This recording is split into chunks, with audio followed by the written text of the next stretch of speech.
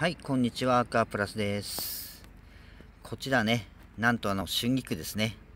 つぼみになってます。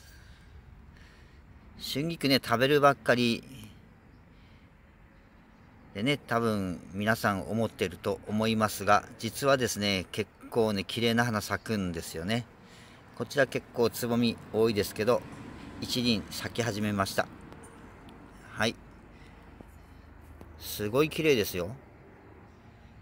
ちょっとね、黄色なんですけど、白い先端の花びらにね、ちょっと黄色のグラデーションで、すごい綺麗です。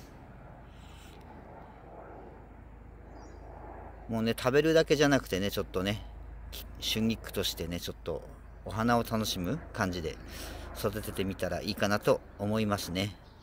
ほんとね、普通に見ててもね、綺麗な花咲くので、こう伸びちゃってねなんかもう取っちゃおうかななんて思ってる方いたらね花楽しむのもいいかなと思います。